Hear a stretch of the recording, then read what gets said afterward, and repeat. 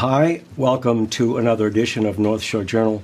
I'm your host, Walt Kosmowski, and my guest today is Dr. Kurt Steinberg, who's the uh, president of Montserrat College of Art here in Beverly. Kurt, welcome. Thank you. Great to be back. Uh, yeah, uh, and the reason that Kurt says that is that he's been my guest on the show a number of different times. We've talked about COVID and how the school was dealing with COVID and so forth.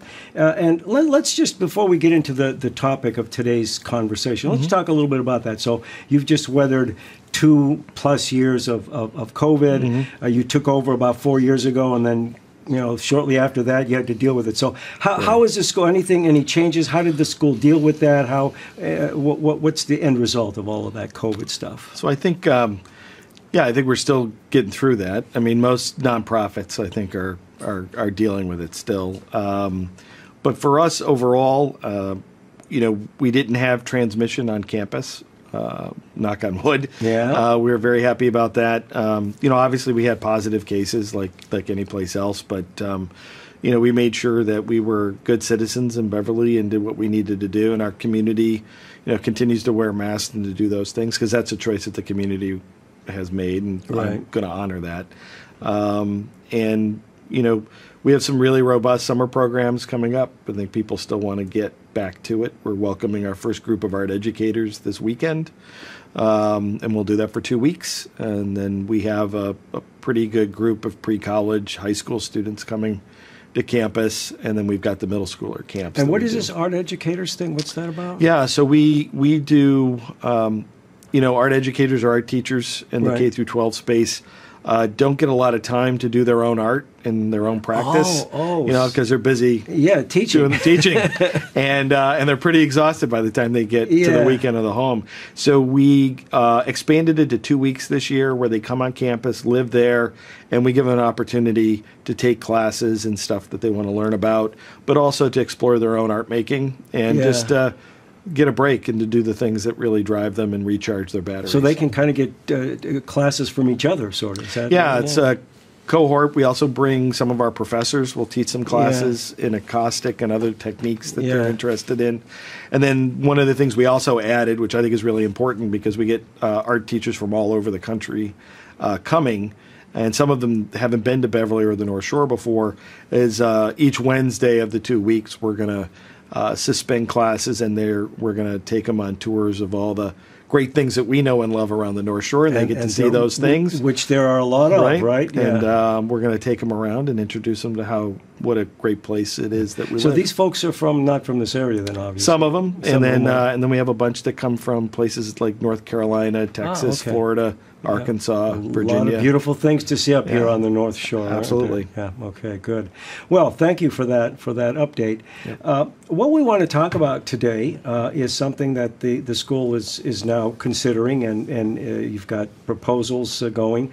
Is you're going to install solar panels yes. on on campus, mm-hmm.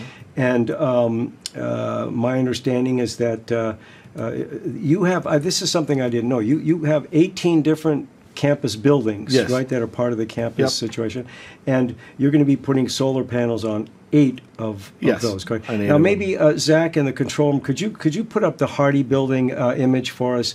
Uh, and um, yeah, there you go. Yeah, and uh, Kurt, tell us this is the main the main campus building, right? This is the yeah. so-called Hardy Building, which is kitty corner from the library and right next to the uh, uh, to the Beverly Common, correct? Right, exactly. Yeah, and that that's where the, most of your activities and the, the darker images there. Uh, don't let the, don't be fooled, viewers. Those are not installed. That's just an right. artist's rendering of what. Right. The, the the panels will look like once they're on the Hardy building. And and if we could have the second Hardy building, okay, and that's just a slightly different angle uh, of of those panels. Mm-hmm. Um, and um, my uh, uh, so you will also have let, let's let's get the third slide up of the campus building. So now, uh, in addition to the um, uh, the Hardy building, uh, some of the major ones are going to be at the Student Village dorm, which on 26 Essex, which is right opposite the library. So that would be Right. that would be like uh, right 13, acro- 14, 15, right? Yeah, In and that's right. Ac- yeah, right across the street. So two is as the Hardy Building, Right. And it's right across the street from the Hardy Building. Yeah. Yep. And then 301 Cabot Street. So with the Hardy Building, the student dorm complex, and 301 Cabot Street, my understanding is that will 80% of the installation will be on those three buildings, correct? I'd say, yeah, and and, when we say eighty percent uh, installation, it's really eighty percent of the total megawatts that'll be produced on a yearly basis. Right. will come from from three three buildings. Yeah, and you're and you're going to be. Uh, I, my understanding is that your your capacity will generate most of the energy needed by your total total buildings on campus. Correct? Yeah, what Any- we're what we're going to do is we'll generate about 240 megawatts Right. per year, and so that people kind of understand what that means, it's equivalent to about 24 homes right. in the city of Beverly, Right. Uh, based on average consumption, Right. And um, it also is equivalent from a CO2 uh, reduction standpoint. It's uh, equivalent to about uh, 2,800 uh, trees being Actually, planted. In, in plant, yeah. And I'm going to fax check you on that, Yeah. okay? Because uh, the 200 and uh, it's actually a 244 uh, um, megawatt system. Yep. And I have a 10 uh, on my house. Yeah. Uh, and so if you divide the, the 10 into 244, you get 24, which which proves out your number. So Right. I, as, as a homeowner, I put on panels about four years ago, and I have a uh, my rated capacity is about 9,750 kilowatts. Right. So right around 10,000, and that's an, an, an average home, three bedroom home. Correct. So uh, yeah.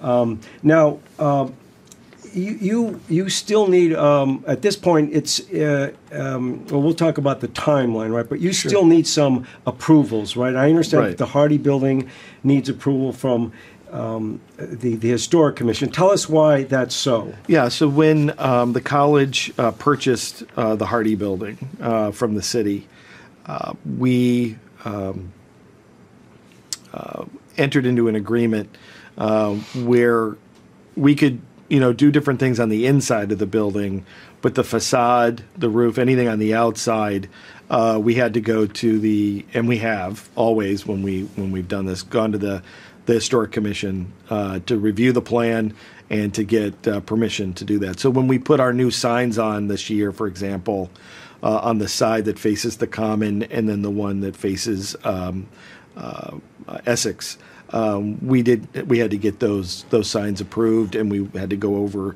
the penetrations that would have to be made into the historic facade of the of, Yeah. of the building. but but but uh, So for the same reason, we have to do do yeah. that with. so the, this uh, is this is on the roof so you're not doing anything with the facade Nothing with the facade and the the the panels themselves. We had a preliminary meeting with the historic commission just to, and planning, Yeah. just to get some idea about what they might be looking for, so we could uh, you know make sure that we're being accommodating right from the beginning of the planning stages.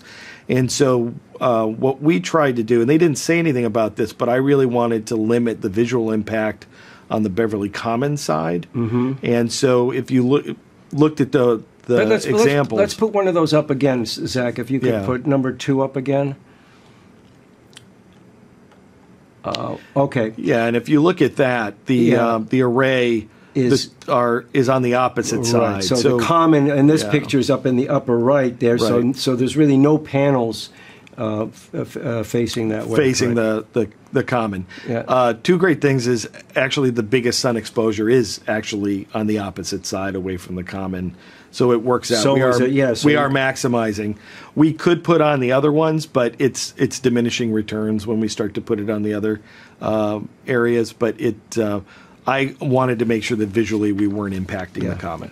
So as far as what the your your preliminary meetings with the historic commission, you don't see any any any gotchas here because you're.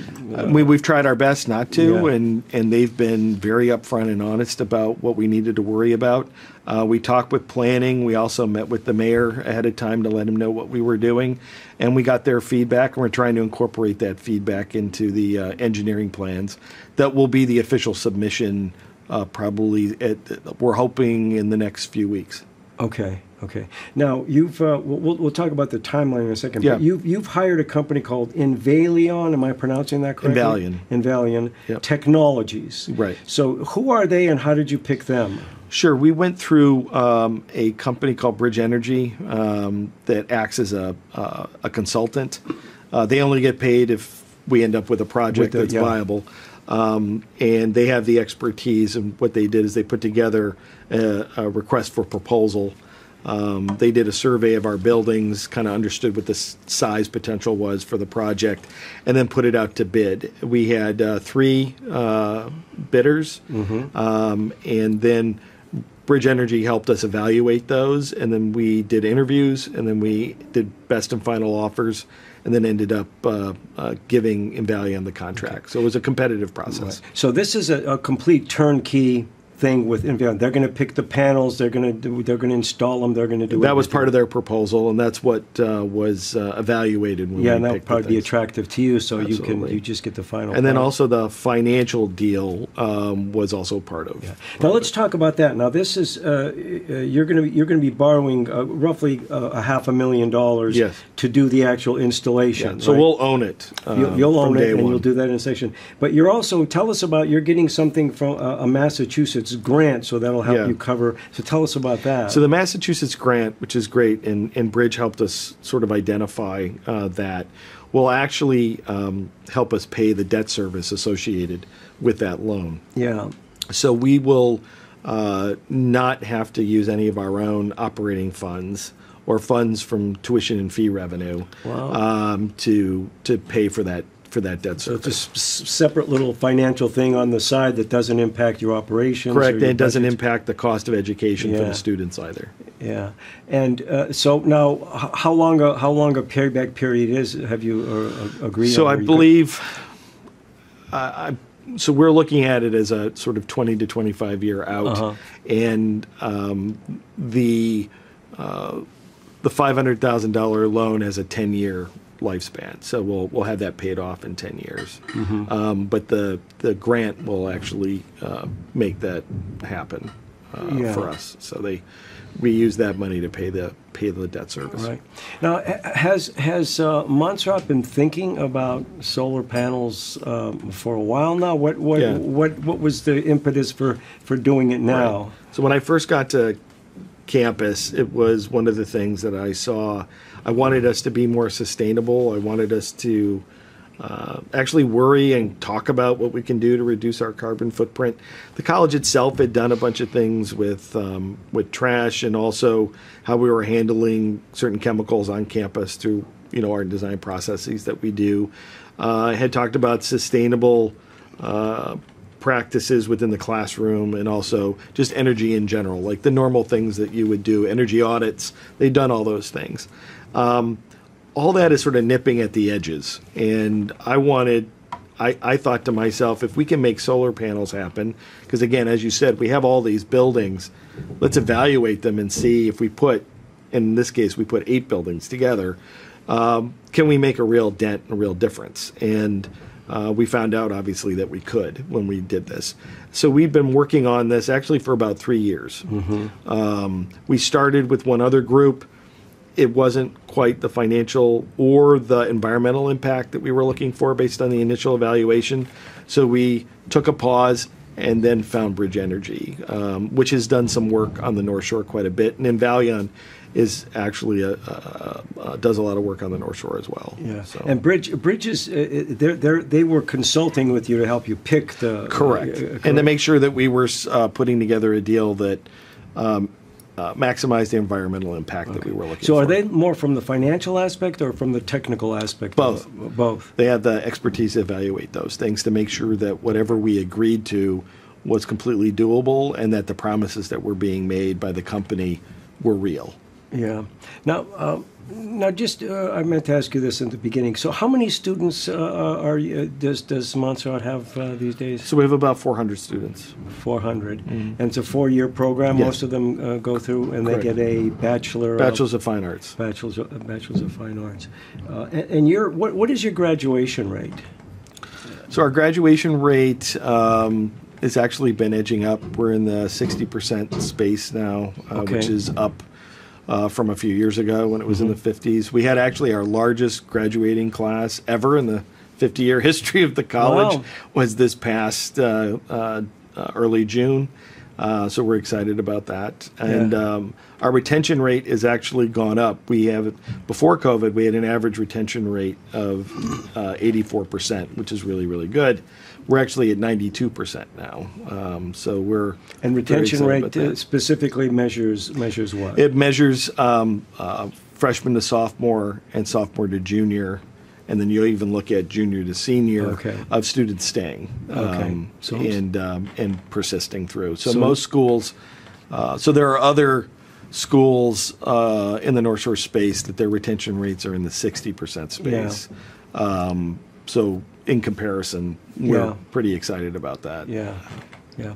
Now let, let's talk a little bit about uh, the the timeline here. Mm-hmm. So uh, you you've picked um, in in Valion, and um, so what? And you're, you're waiting. Uh, you're going to put. You said in a couple weeks you're going to put together your final proposal, Yeah. and you're waiting to hear from the historic commission. So so tell us what what are the, the steps? What has to happen? So the steps now? that have to happen in Va- and Valion through the contract is completely responsible for the permitting process. Okay. And getting the approvals. The approvals, as I understand it, are three major areas of approval.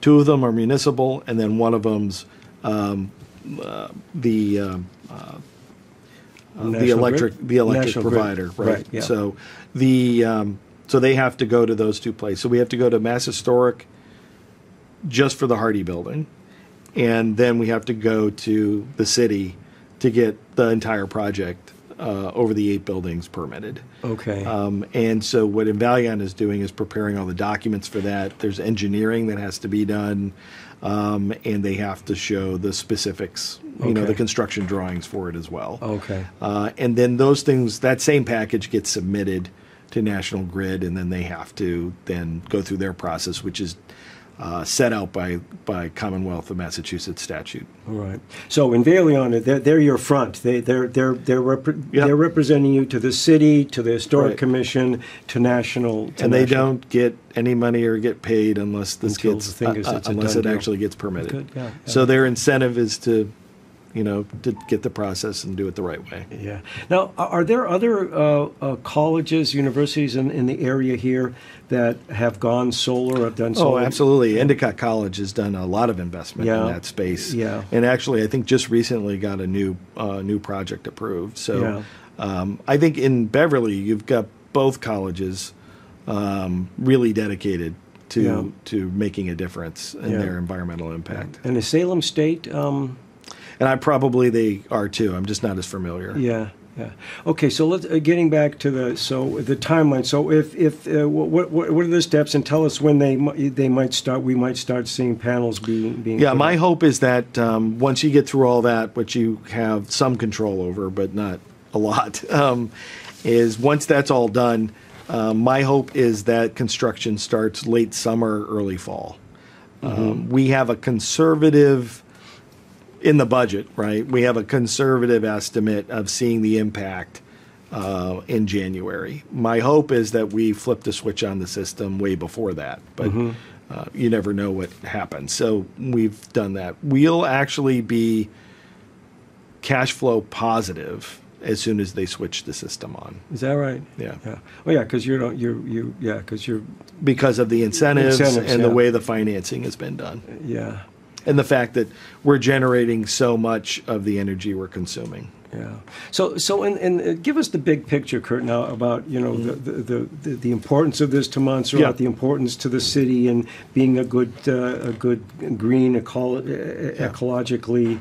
Um, you know, sustainable um, constituent, Yeah. if you will. So tell us about that. I think um, the first thing that I really want to say is um, I want to give Mayor Cahill a lot of credit because I think as uh, people know, he's been talking about He's- environmental um, improvements and being responsible.